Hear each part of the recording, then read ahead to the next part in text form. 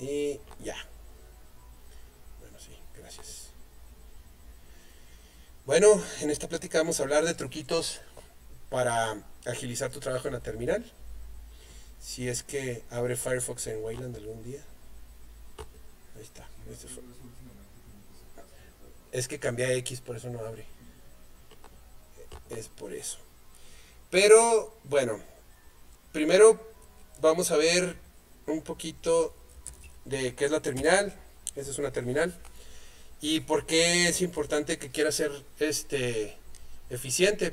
Hay veces que como Cristian pues tienes mucho trabajo este, jalando cables. Jalando cables y cosas así, pero hay, eh, hay los casos que de gente que necesitamos hacer trabajo de terminal, que es conectarte a veces a servidores y luego copiarles cosas y sacarles cosas a los servidores o correr comandos o lo que sea. Entonces, cuando escribes rsync, eh, hola, dos puntos, ay, ya me equivoqué, está todo en mayúsculas y lo que haces es borrar todo, ya perdiste un montón de tiempo. O sea, hay, hay un montón de, de pequeños ganchitos que puedes utilizar para no tener que sufrir de estas cosas. Y hay algunos que ya conocemos, por ejemplo, ¿alguien sabe cómo borrar palabra de una palabra a la vez? No, bueno, pues hay, un ganchillo que es con Alt y luego borras y se borra de una sola palabra a la vez. Y ese es una cosa pequeña que te puede ayudar a agilizar mucho. Pero la pregunta es de dónde sacamos esos ganchitos, en qué documentación están, nunca los encontramos. Entonces, justamente por eso tenemos que buscar un cheat sheet de Readline y eh, o la documentación oficial de Readline, que es un poco más extensa que un cheat sheet, pero a final de cuentas te sirve un montón. Entonces, si buscas Readline eh, Documentation, te va a salir una, entre las páginas que te van a salir, va a haber una que va a ser de la GNU, espero. Ah, mira, aquí está esto. Documentation. Está. Y aquí en la documentación tenemos algunas secciones. La que nos interesa es la eh, Readline User Interface. ¿En dónde más puedo encontrar esta misma documentación? Bueno, pensarías que en Man Readline la vas a encontrar, pero en realidad no. No está en Man Readline. Tienes que utilizar Man Bash y si buscas con diagonal eh, y con un, ¿cómo se llama? Caret. ¿Dónde están los caret en estas cosas? Circunflejo. Circunflejo, gracias, Cristian. Eh, el caret no sé dónde está en el teclado en inglés, ¿alguien sabe? Oh, yeah. Ahí está. Y buscamos read line. Ahí está. Entonces aquí es donde comienza te explican primero una parte muy importante, por lo menos en español y en inglés. Si la tienes instalada la documentación en español, va a estar en español, espero. Eh, aquí es la readline notation y te explican qué significa C-N, por ejemplo, que es básicamente control N, y qué quiere decir la M, que es la meta aquí, que es el alt, y cosas de ese tipo. Y un poco más abajo vas a ver eh, pues mucha información relacionada de para qué sirve, qué es cada, el glosario de qué es cada, cada letra y los que son qué son las diagonales invertidas letra, etcétera, cuáles son funcionales, para qué sirven, por ejemplo, la alerta, etcétera, Y aquí más abajo es donde empezamos a ver, bueno, las variables y todo el cotorreo, que son un montón de variables, y es una documentación bastante extensa, los constructs eh, condicionales, y aquí en Commands for Moving es donde empieza el cotorreo. Entonces, por ejemplo, el primero dice eh, para irte al, inicio de la línea. Entonces, en mi, en mi ejemplo de hace rato, si yo hubiera escrito rsync, eh, home, dos puntos, ah, ups, me equivoqué y quiero regresarme al principio para hacer algo, entonces control A en minúscula y te vas al principio. También, también pudieras decir, ay, sí, pues más fácil, le pico al home, o sea, me, aquí, home, y me voy, pero ya moviste las manos del teclado. ¿Por qué menciono esto? Porque como en VI o como en BIM, si tú aprendes los, los eh, ¿cómo se llaman? Shortcuts. Métodos abreviados. Métodos abreviados. Gracias, Cristian. Este, si aprendes los métodos abreviados, eh, esto te va a ayudar a no quitar tus manos del teclado. Y a medida que los aprendas bien, te hace bastante más ágil y no tienes que después buscar dónde va tu mano en el teclado Que a quién no nos ha pasado que empiezas a escribir y resulta que estabas una tecla a la derecha, una tecla a la izquierda y sale puras tonterías donde escribiste. Y todo esto te hace también perder más tiempo. Entonces, por eso vamos a, ver un poquito de, sobre qué onda con los métodos abreviados. Eh, ir al principio de la línea, ir al final de la línea, que es control E, etc. Y bueno, aquí hay un montón de métodos diferentes, están muy chidos, pero a lo mejor te da flojera leerlos así. Entonces, por lo mismo, podemos buscar un cheat sheet. A mí me gusta este de Cablamo, que está bastante sintetizado. No viene todo, pero viene lo más importante. Entonces, si practicamos un poquito estos métodos, vamos a aprender a hacer cosas muy interesantes. Por ejemplo, hay uno, hay un método que me gusta mucho que es de eh, cómo puedes cambiar las letras de mayúsculas a minúsculas. A mí me acaba de pasar ahorita escribí en mi terminal eh, rsync con mayúsculas y ese comando no existe. Tengo que escribirlo con minúsculas. Entonces aquí tengo dos opciones, borrar todo y volverlo a escribir con minúsculas o puedo pasarlo a minúsculas. Eh, creo que el... Si aquí está en Changing Text, justamente aquí en esta sección, es donde tengo eh, la manera de, de, poder cambiar a lowercase. Dice que Alt U me permite cambiar a lowercase una palabra. Vamos a ver. Entonces, si escribo alt, U minúscula, ah, pero lo tengo con mayúsculas otra vez. Alt, U, válgame. Alt L, ah, Alt L, tienes razón. Cambio R sin minúscula, entonces si vuelvo a presionar Alt L, cambia a home minúscula. ¿Y L mayúscula qué haría? Alt, ah, ¿qué creen? A ver, hagan sus apuestas. Bueno, control A, primero para irme al principio. Control Alt L mayúscula. No hace nada. No, sí, sí hace algo. Se va al final de la palabra. Mm. Que esto es algo útil también, ¿no? Pero bueno, esa es una manera en la que se puede explorar. Tenemos para capitalize, que quiere decir pasarlas a, la primera letra que se haga mayúscula, o está uppercase, que es para hacer mayúsculas toda la palabra. Eh, otra manera, otra, otra cosa muy interesante es el cuando te puedes mover por palabras, porque muy seguido, eh, vamos a suponer que yo aquí escribí home, eh, quiero copiar un archivo muy importante o un directorio muy importante y lo quiero pasar a eh, remote.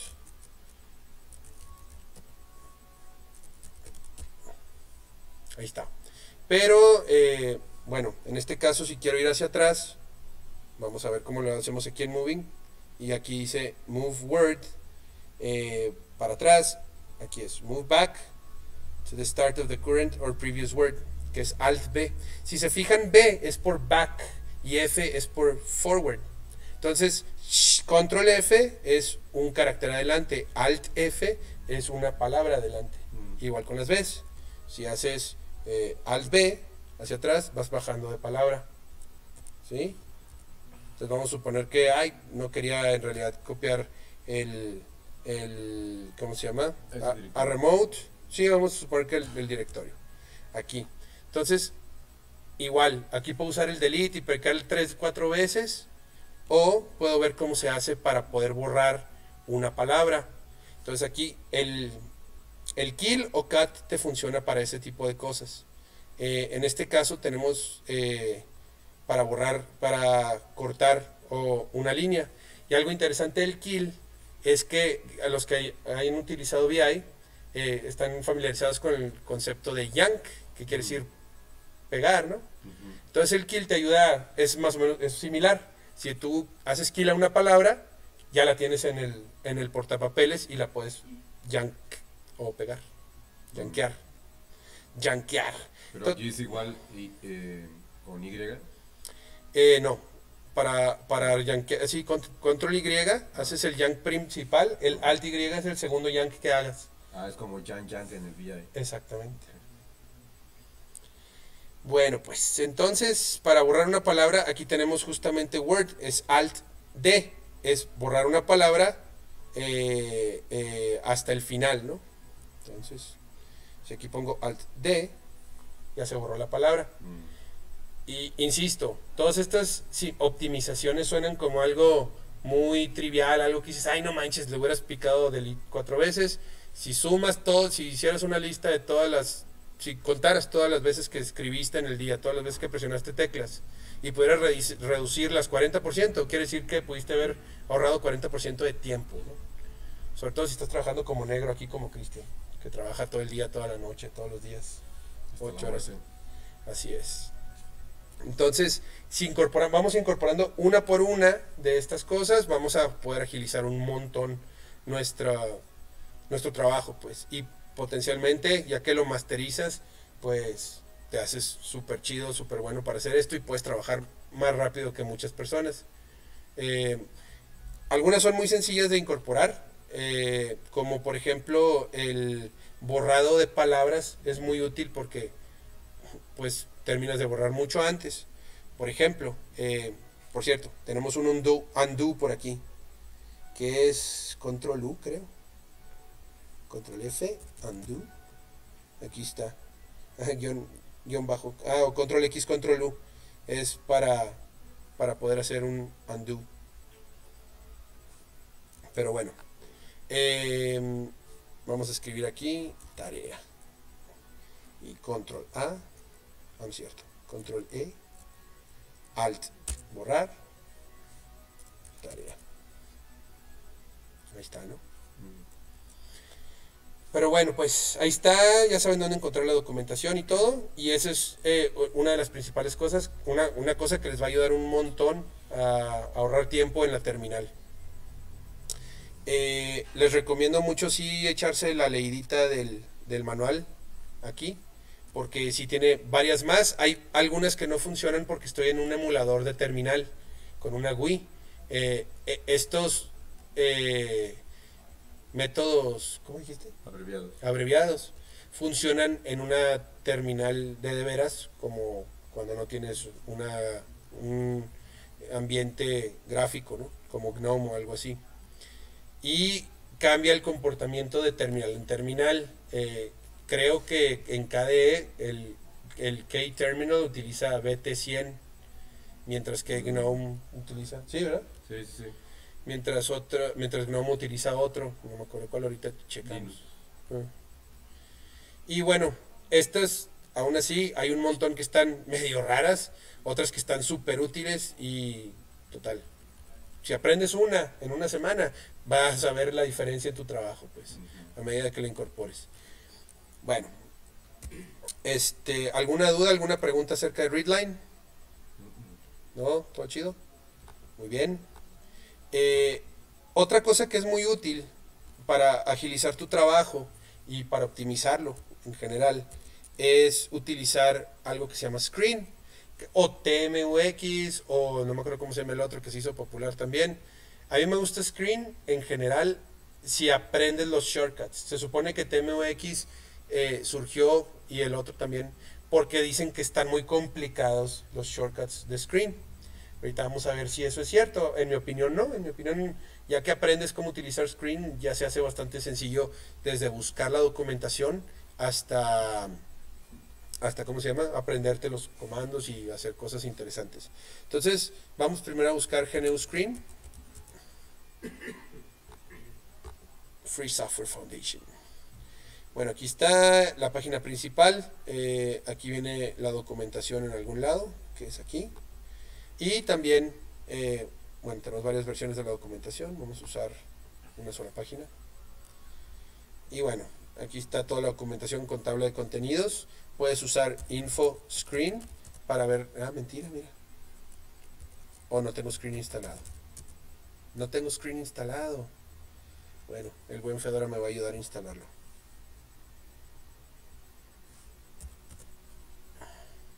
Puedes utilizar la página de manual de screen en todo caso. O este o el info, a ver si ahora sí funciona info screen. Sí, ahí está.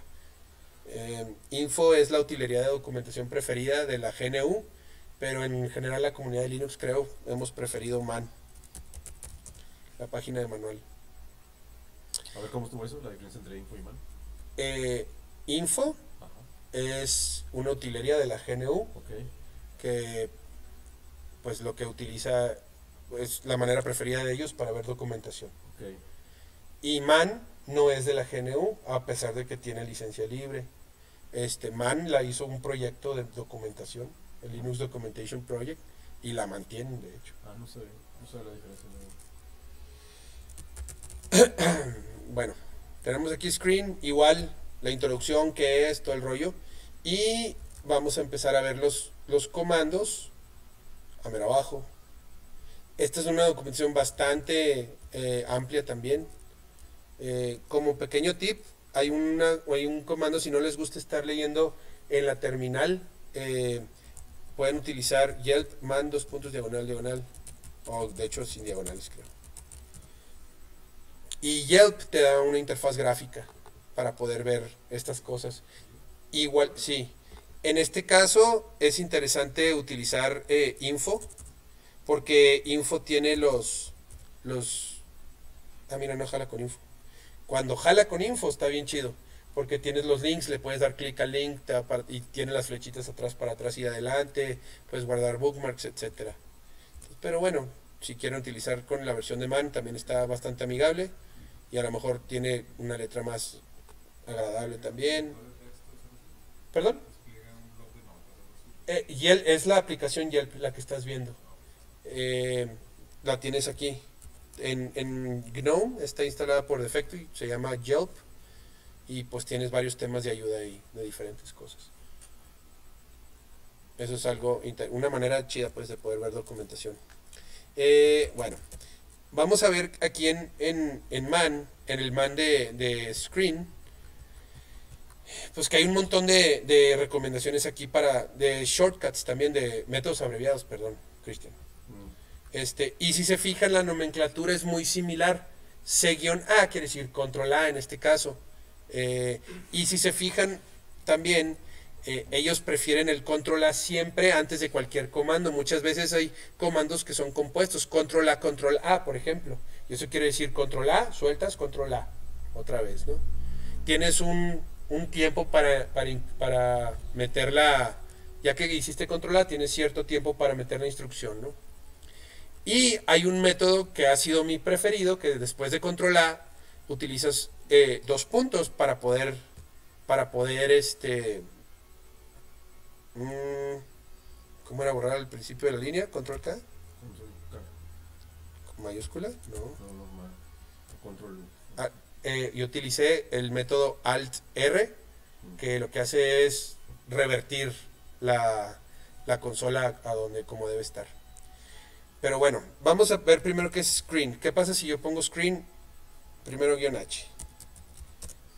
La ayuda que te da es la ayuda corta y esta ayuda corta te explica cómo se utiliza screen, dónde van las opciones y los argumentos y todo ese rollo, ¿no?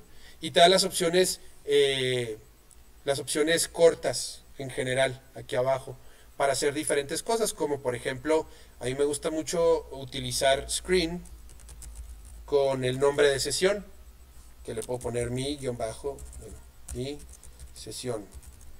Entonces, cuando me salgo de screen, puedo ver cosas como mis sesiones y mi sesión tiene un nombre amigable. Entonces, si cuando quiero volver a, a entrar a mi sesión de screen, puedo poner tabulador y dice mi sesión otra vez. Tabulador es para autocompletar. ¿Ok? Entonces, ahorita vamos a explicar un poquito más qué hace, qué hace screen. Hay otras opciones que me gustan. Me gusta la, la A y la O mayúscula. ¿Qué son esas? La A simplemente maximiza la compatibilidad con tu terminal. Aquí. Y la O eh, optimiza. Aquí está. eh, optimiza el, el output eh, para tu terminal. Como les comenté ahorita, eh, no todos utilizamos BT100. Entonces, si estás usando KDE, probablemente si estás usando BT100, pero si no, estás usando otra cosa. Entonces, es, es, es, se me hace algo importante utilizar la O. Mira, escribe el comando set. Sí. Entonces, por allá arriba aparece en qué terminal estás usando. Y, Mira, qué chido. Bueno, ponle NB. NB. No, N. No, B chica. Ah, environment. Y También aquí va a estar la sí, por ahí debe estar, ahí arriba, term. Term, Aquí está. ¿qué tiene? Xterm Ajá. 256 color. Sí, O también podemos haber hecho esto. El valor de term. Ujú. Y ahí la puedes cambiar a Linux, ANSI o BT100. Hay más. Hay un montón. Sí. Según también si estás utilizando OpenBSD, otra cosa, eh, tienden a utilizar otros otros tipos de Ajá. terminales. Igual en tu Mac es otro tipo de terminal, etcétera. Entonces, sí es importante saber qué terminal. Yo por lo pronto en mi screen siempre pongo la BT100. no, pongo la, la O para que optimice a cualquier eh, Ah, ok. terminal que tenga. Este es el Terra. ok. Sí. O y la S para poner el nombre de mi sesión. Ok. Eh, si no quieres estar escribiendo todo esto, puedes eh, crear un alias. Y tu alias puede estar en tu bash RC, por ejemplo, que aquí es donde, donde se recomienda el, el- bueno, aquí pues es un lugar donde puedes poner tu alias. Y existe bash profile que en los hijos de Debian se llama profile nada más, punto profile. Y bueno, ¿cuál es la diferencia? Que uno de ellos utiliza, eh, eh, se, activa solamente cuando es un login shell. Esto quiere decir cuando hay una autentificación y, y- entras y se te presenta una terminal. Y el otro se, se utiliza solamente cuando no es login shell, cuando corres un comando por SSH, por ejemplo, y te regresa el output. ¿Cuál es cuál? No me acuerdo, la neta. ¿Alguien se acuerda? El profile es el login. el profile es el de login, ¿verdad? Sí, eso creía, pero no estaba seguro. Este, y bueno, en, en este caso nos conviene más meterlo entonces, según lo que dice Cristian, en bash profile. Y aquí podemos decirle alias screen es igual a screen-ao. Y ya, eh, la S no la voy a poner porque luego me obligaría a, tener que definir el nombre de la sesión siempre, ¿no? Entonces, este, con, con esto ya no tengo que estar escribiendo, digo, tengo que, ahorita tengo que hacer un source o punto, punto a mi alt punto. Ese alt punto es de readline, repite el argumento de, de el comando pasado. Si sigo poniendo alt puntos, esta es una manera de que no tengo que, tengo que escribir, puedo escribir menos. Ahí me ahorré un montón de letras, ¿no? Y ahora que ya hice el source, puedo escribir la palabra alias y ver si está el alias que acabo de agregar, el alias de screen. Y por lo visto sí, aquí está. Entonces ahora siempre que yo escriba screen, se va, va a estar por defecto A y O mayúscula. ¿Ok? Entonces screen-s mi sesión. Ahí está. Entonces ahora, ¿para qué me sirve screen? Después de todo este bre- breviario cultural. Déjenme cerrar nomás mi ventana anterior. Este, screen es una manera de dejar una sesión de login corriendo a pesar de que yo me salga de la sesión. Y esto va a correr recientemente en systemd. eh, cuando tú haces un login, si yo le pico aquí eh, logout, va a matar todos los procesos hijos de mi usuario. Es configurable, pero así está configurada casi todas las, eh, distribuciones cuando tienes ambiente gráfico. Entonces, Screen va a sobrevivir a esto porque se separa de alguna manera. Es, eh, crea en realidad una terminal y esa terminal sigue corriendo. Entonces, si yo me salgo y pongo logout, mi screen va a estar disponible la próxima vez que haga login. También si tengo un servidor remoto y, quiero dejar corriendo un comando que se va a tardar un buen rato o estoy haciendo una actualización, esa es otra, otra manera interesante, otra, otro buen motivo para utilizar screen. Eh, bueno, lo quiero dejar corriendo y no quiero tener abierto ahí porque qué tal si se me corta la conexión. ¿Me explico? Entonces es una manera simplemente de poder dejar una terminal corriendo haciendo cualquier trabajo que quieras, incluido todo. Entonces, eh, bueno, Screen me permite hacer eso. Ahora, ¿qué otras cosas interesantes tiene? Bueno, una que se me hace muy interesante, porque no lo voy a cubrir todo ahorita, es partir la, eh, puedes partir tu, pantalla en varias maneras. Por ejemplo, yo aquí puedo decir, quiero ver HTOP, ¿no? Ah, chido, pero también quiero ver los logs al mismo tiempo. Entonces puedo decir control A, S mayúscula, y se parte la pantalla en dos. Control A, tabulador, y me paso a la siguiente pantalla. Y aquí tengo varias opciones. Puedo ver una de las ventanas, se llaman, eh, que ya tengo abiertas, que en este caso tengo una, o puedo crear una nueva. Control A, C, y se crea una nueva ventana. Y aquí sí puedo decirle al journal que quiero ver todos los warnings. Por ejemplo. ¿Cómo le hago para cerrar la ventana? No, no, eh, perdón, ¿cómo para terminar la, la, ventana completamente? Bueno, cancelo mi, mi comando y control A, X mayúscula. Y se queda, quién sabe qué hice. Era controlar Q. Sí, era controlar. Bueno, para evitar estas broncas vamos a screen. Ah, es que tenía la hice minúscula. Mm, tienes activado la mayúscula. Sí. Este es, este es. Ah, mira, ya tienen bronquillas estos de. de PHP. E, este es. Eh, cheat sheet es el que más me gusta y lo voy a hacer un poco más grande para que lo puedan ver bien. O más o menos, por lo menos. Este, más grande todavía. Y bueno, aquí vienen varias, varias eh, cosas útiles de screen, desde que le pongas nombre a tu screen, cómo muestras los screens que hay, eh, etcétera, ¿no? Y acá abajo están eh, las tareas relacionadas con Windows. Ahora, Screen es súper extenso, tiene un montón de, de, funciones. Pero bueno, aquí tienes la, las de con Windows y para cerrar una ventana utilizamos uh, change C show close current window. no viene el shortcut. Pero es X, estoy seguro que es X, minúscula. Uh, ah, ok. Lo que hice ahorita al poner la minúscula fue ponerle password a mi sesión mm. para que nadie pueda entrar más que con el password que yo, yo quiero, ¿no? Y la X mayúscula, ¿dónde está? No la encuentro, no sé, no me acuerdo ni dónde la vi. Aquí está abajo. Aquí es Remove Current Region. Que estamos hablando del split en, en específicamente, ¿no? Eh, hola mundo. Ah, mentira, tengo que poner mi password. Ahí está. ¿Qué le pasó al top? Eh, al edge top, dices.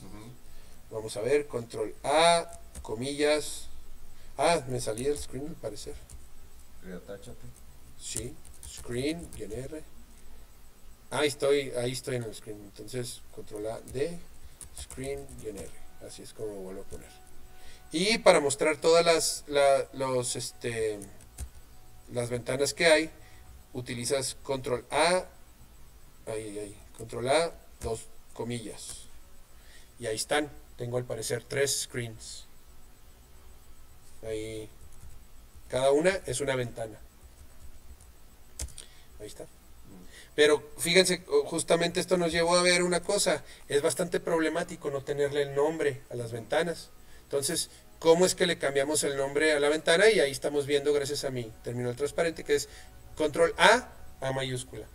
Entonces vamos a hacer eso. Eh, vamos a escoger esta y vamos a escribir control A, shift A. Abajo, si bien, dice set Windows title. Entonces voy a borrar y aquí le vamos a poner htop. Entonces, control A, comillas, espacio, porque tengo que poner espacio por mi tipo de teclado. htop. Entonces, vamos a ver cómo podemos partir ahora nuestra pantalla para que, para que tenga, para poder ver todo al mismo tiempo, ¿no? Vamos poniendo el nombre a todas. Este va a ser, eh, vamos a dejar corriendo el journal y este va a ser control A, eh, shift A y le vamos a poner journal y control A, eh, comillas, este, este no es nada, se lo vamos a cerrar. Entonces ahora ya tenemos nombres. Ahora vamos a crear más ventanas, vamos a crear una ventana más y luego vamos a empezar a partir todo. ¿ok? Para crear una ventana puedes utilizar control A, N. Ay, pero le hice mayúscula. Control A, N. Control A, C, perdón, no es la N. Y bueno, control A, shift A para ponerle nombre y este va a ser Michelle. ¿ok? Ya le cambié el nombre a shell. Eh, si se fijan, screen aquí en la en, en G-Terminal, en mi caso, cambia el nombre y me muestra aquí cómo se llama esta, esta ventana. No me refiero a la ventana, a la cejilla, me refiero a la ventana de screen. ¿ok? Y aquí vamos a aprovechar para partir el, el, el screen en diferentes, bueno, en dos, primero que nada. Control A, S mayúscula, lo parte de manera horizontal. Y control A, la, el signo de pipa, no sé cómo se llama, el que es así y así. Pipeline. Pipeline. ¿Pero cómo se llama en español? Tubería. Tubería. El signo de tubería es este el que el que usamos para partir de manera vertical. ¿Ok? Entonces con Alt A tabulador me cambio. Si se fijan ahora el cursor está brillando en la, en la siguiente ventana. Pero esa ventana ahorita no tiene nada. Entonces lo primero que voy a hacer va a ser borrarla. Otra vez le puse X minúscula. Oye, René. Una pregunta. Cada vez que abres otra, cada vez que partes el screen en varias partes, ¿se vuelve a recargar el bash? Eh, o sea, relee el punto bash RC. Cuando, cuando estás partiendo un screen en varias partes, preguntas que si relee el, el bash RC. Solamente si creas un, un, nuevo, una nueva sesión. Un nuevo login. Un, sí, un nuevo login. Cuando estás cambiando entre ventanas, no. Está, simplemente te conectas para verla. Ok, entonces, controla, de hecho, este, vamos a ponerle aquí nombre a esta, y esta va a ser el shell, y ahora la voy a partir primero verticalmente, ahí está, y ahora acá, tabulador, voy a partirla de manera horizontal, Aquí, Alt A, comillas, voy a, quiero ver el H-top, que es este. Alt A, tabulador. Alt A, comillas. Aquí quiero ver el journal. Entonces, esto es muy interesante porque ahora yo puedo trabajar aquí a gusto mientras tengo datos que me interesan de mi servidor. A lo mejor no me interesa el HTOP, pero ¿qué tal si estoy en un servidor web y quiero estar viendo el journal mientras hago unos cambios de Nginx y poder ver en ese momento si hay errores o no? Entonces, esto es, esto es bastante interesante. Lo mejor de todo es que yo puedo pedirle a Screen que guarde este layout o este acomodo. Y aquí vamos a ver otra, otra función interesante, que es mi función favorita, que compones control A, dos puntos, y abajo, como en VI, se pone un dos puntos. Esto quiere decir que ahora tengo, puedo poner los comandos no en su manera abreviada, con control A, control C, control lo que sea, sino puedo poner palabras y tengo autocompletado. Layout en este caso. Yo quiero hacer layout save default. Que esto quiere decir guarda el layout como default. Control A, D para detach, para salirme del screen. Me voy, cierro la ventana si quieres, vuelvo a abrir otra vez la ventana. Y ahora pongo screen-R para retouch, para volverme a pegar el screen. Y ahí, lo, ahí está tal cual y lo dejé. Esto es súper útil, sobre todo cuando tienes instancias virtuales o servidores que tienen un propósito muy específico, te sirve mucho tener algo como esto, porque puedes hacerlo bastante complejo, puedes tener un pedacito de la pantalla este, para que te muestre ciertos datos, el otro pedazo para esto y tener tu shell en otro lado, con la documentación que necesitas leer de un lado. Ese sería otro caso bastante interesante, ¿no? Y no estoy limitado a una sola sesión, puedo crear otra eh, con el nombre de sesión mi otra pantalla, la vamos a poner. Pantalla. Y ya, aquí es muy diferente, es completamente independiente a la sesión que, tengo, que tenía hace rato. Incluso se me haría muy útil, por ejemplo, quiero estudiar screen, control A, eh, signo de tubería, control A tabulador, control A, C para crear otra. Y aquí pongo man screen. Y aquí busco layout, quiero estudiar layout. Entonces aquí puedo ver qué rollo, puedo estar leyendo esto. Y nomás, si no guardo el layout, eh, no se va a mantener. Me salgo y screen-ls para ver mis sesiones de screen. Screen-r, mi o tabulador, enter. Y si se fijan ya perdí el layout, ya no tengo el layout para ese screen. Mm. ¿Por qué? Pues porque no guardé el layout. Pero ¿qué tal mi otro screen? Screen, r, mi bajo sesión. Ahí está. Puedes tener un montón de layouts a final de cuentas. Y puedes, en una misma sesión, puedes poner uno u otro u otro. Y eso también es muy interesante. También hay una opción aquí abajo que dice Layout Autosave. Eh, save y acá está Autosave. Y el Autosave, si lo activas, el cual no es default, eh, vas a automáticamente se va a guardar tu layout. A lo mejor quieres eso, porque lo vas a usar al principio de una manera simplificada. Después, ya que sepas muy bien cómo funciona el layout y tengas dos, tres diferentes, si es que los necesitas, ya no te conviene el autosave. Ya quieres siempre tener el mismo. Y bueno, nomás así para mostrar rápidamente, e, es grandísimo. La documentación de Screen está gigante. Es súper complejo y tiene un montón de cosas. Si aprendes lo de un cheat sheet como este, seguramente te va a servir para hacer un montón de cosas que no estás haciendo ahorita, ¿no? Eh, lo de layout aquí no viene, por ejemplo, eh, pero sí se me hace algo importante mencionarlo. Entonces, eh, pues los invito a que investiguen un poquito más que de qué onda con Screen, que lo empiecen a utilizar y si se les hace muy difícil y muy complejo, utilicen algo simplificado como TMUX, que ya trae mapeados los F1, F2, F3 para funcionar de cierta manera, para simplificar de alguna manera el trabajo de screen. ¿no?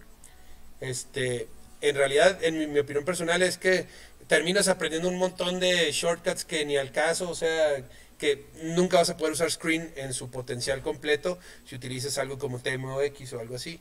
Pero bueno, es una de las opciones que hay. ¿no? Antes de que termines, este, hay uno muy poderoso que a mí me gusta mucho que se llama Control R. Control R, ah, sí. Es muy bueno. Súper bueno. Ese es de Readline. El Control R yo también lo uso mucho. Y el Control R, quiere decir Reverse Search. Y básicamente muchas veces estamos atorados buscando el comando que escribimos alguna vez así, ¿no? Para arriba, para arriba, para arriba, para arriba. Y pasan 10 años y nunca terminas. Entonces, Control R, R sync, este, o un comando que se había puesto, LS control R, control R, control R, control R, etc.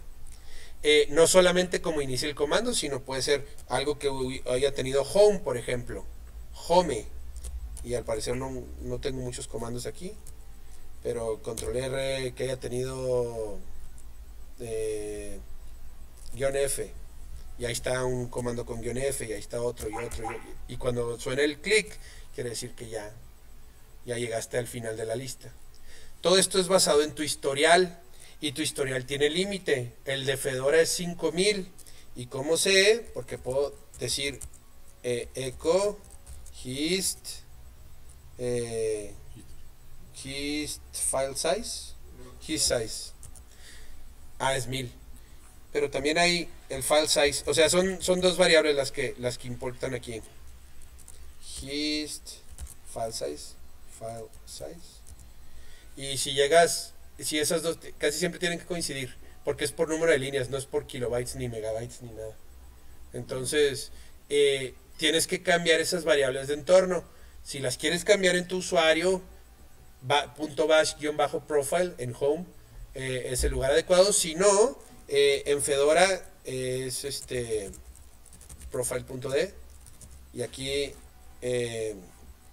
puedes buscar, hist en todos y puedes ver si está en algún lado. Tiene nada más time format. Entonces aquí pudieras crear history.sh y puedes exportar hist size igual a lo que tú quieras.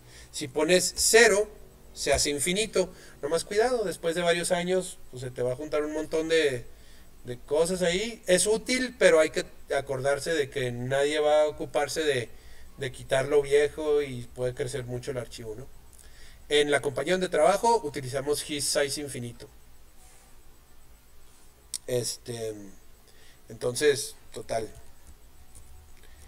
Eh, Otra, una última cosa nada más que quiero comentar de, cómo utilizar la, terminal eh, de manera más eficiente, pues es que justo ayer creo salió Bash 5. Entonces, esto, y van a utilizar Readline 8. Esto quiere decir que hay más funciones nuevas. Las que les mostré ahorita son las de toda la vida, pero eh, ya va a haber, ya hay Bash 5. acá estaban los release notes, de hecho. Ah, no. Van a estar acá. Y bueno, total. Vamos a buscar Bash. 4.4 eh, ahorita. Y Readline 7. Pero mencionaron algo muy interesante de, de los release notes de, de Bash 5, que fue de hecho las release notes están en una mailing list. Más que no me acuerdo dónde. Vamos a ver si los de It's Foss saben. Eh, mailing list, aquí está. Y aquí es donde, donde ellos pues sugieren cuáles son los new features. Y uno de los new features es que ya puedes eh, ligar eh, Bash al readline del sistema. Antes traían su propio readline. Entonces ahora lo puedes ligar al del sistema y no funciona con menor a 8. Entonces el readline más nuevo es el que están utilizando. Y pues estaría interesante ver la documentación del readline más nuevo, de la versión 8, para ver qué otras shortcuts tienes, ¿no? Eh, y pues Bash obviamente también trae eh, funciones nuevas. En cualquier página de estas seguramente seguramente te, van a decir qué funciones nuevas trae interesantes. De lo que yo vi es que pueden eh, las variables locales pueden heredar el valor de las variables globales. Eh, ya ahora tienes estas variables de, de bash argc y bash argv eh, cosas de ese tipo, ¿no? Bastante esotérico todo el rollo. Nada así muy práctico. Pero bueno, total. Y hablando de terminales, me encontré una cosa que se llama WTF Util, que básicamente es un dashboard para terminales, escrito en Go.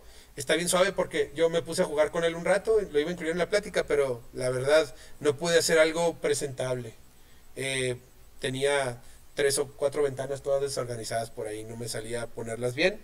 El punto es que puedes correr comandos y, y puedes ver estados de, GitHub o de Jira o de, o de GitLab o de lo que quieras y puedes hacer un dashboard muy interesante que te puede servir ya sea para monitorear desde tu terminal o simplemente para tener en una pantalla una serie de información que necesites como tus tickets asignados y los, tus repos de Git como están, eh, cosas de ese tipo. ¿no? Eh, instalarlo no es difícil, ellos recomiendan bajar un binario y vamos a verlo acá en, en GitHub. En Microsoft GitHub. Eh, la recomendación es bajar el binario para instalarlo, para construirlo desde, desde source. Pues aquí está el comando, go get, todo ese rollo. Luego te vas a tu go path. Ojo, si no tienes un go, una variable GoPath, igual hay que ponerla. Yo acabo de poner la mía, de hecho. No sabía que en esta computadora no tenía el GoPath definido. Luego haces un make install y run. Y esa cosa funciona más o menos así. Les voy a mostrar lo que trae de por default. Eh, WTF. Y ese es el default, en mi caso. Te dice el estado de tu conexión, cuál es tu DNS, unos word crocs, ¿no? Y editarlo es muy sencillo, control C para cancelarlo.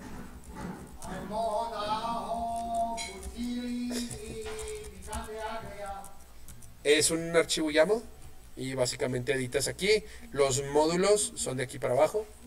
Y puedes poner, hay un módulo muy interesante que se llama run cmd, que es run command, entonces cualquier comando que puedas ejecutar, puedes tener el output ahí en, en una ventanita.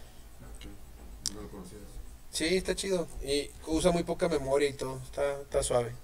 Entonces, bueno, ¿alguna pregunta o comentario?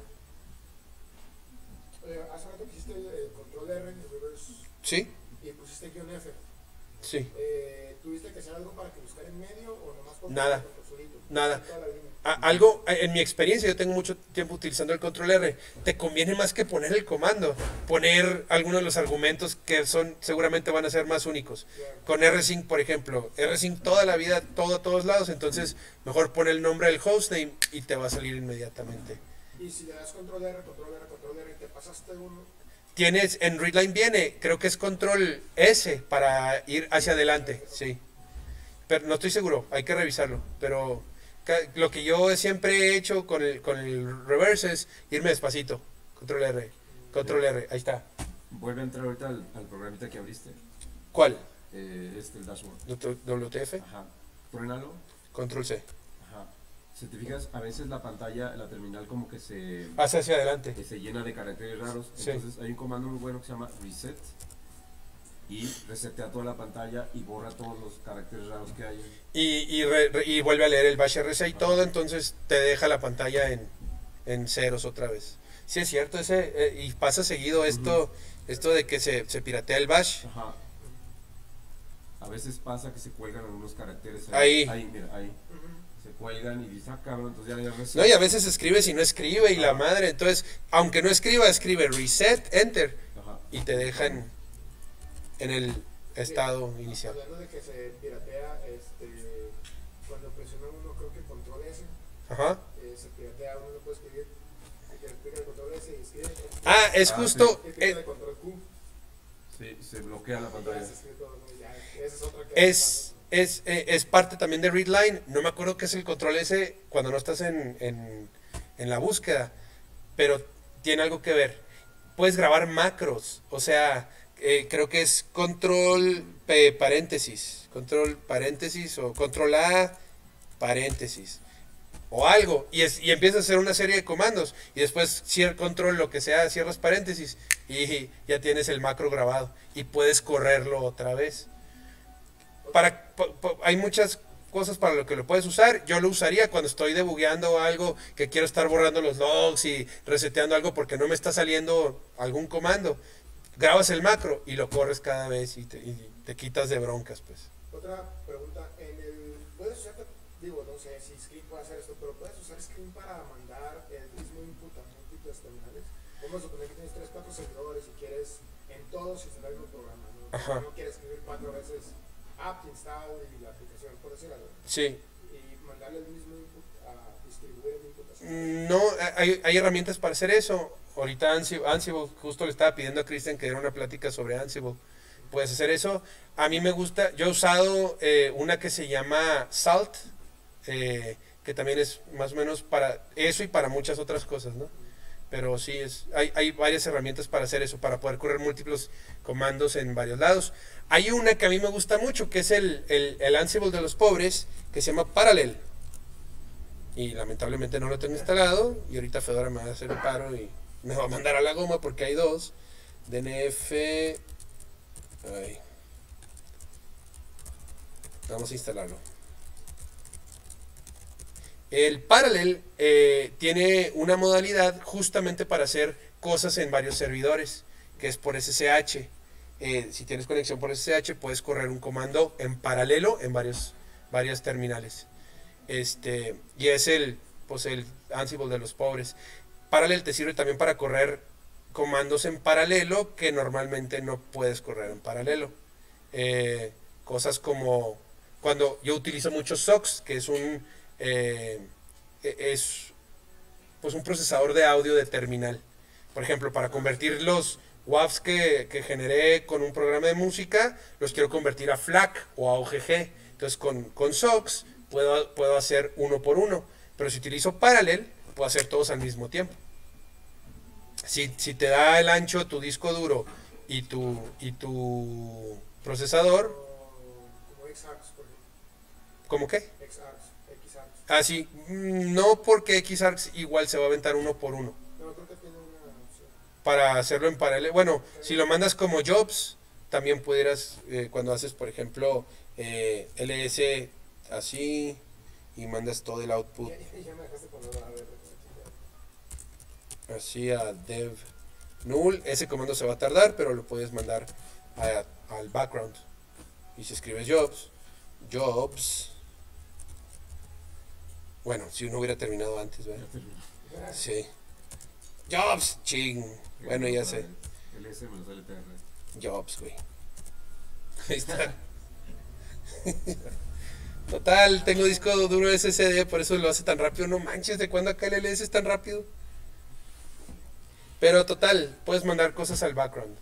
Eh, y mandar muchas. Entonces, puedes hacer un for loop con un ampersand al final todo y eh, for x y en asterisco do esto, esto, ampersand, eh, done, eso jala. No, pero es que lo que ahorita que dije xargs es porque porque relacioné equivocadamente, pero que parallel no, sigue la misma sintaxis de xargs. Ah, no.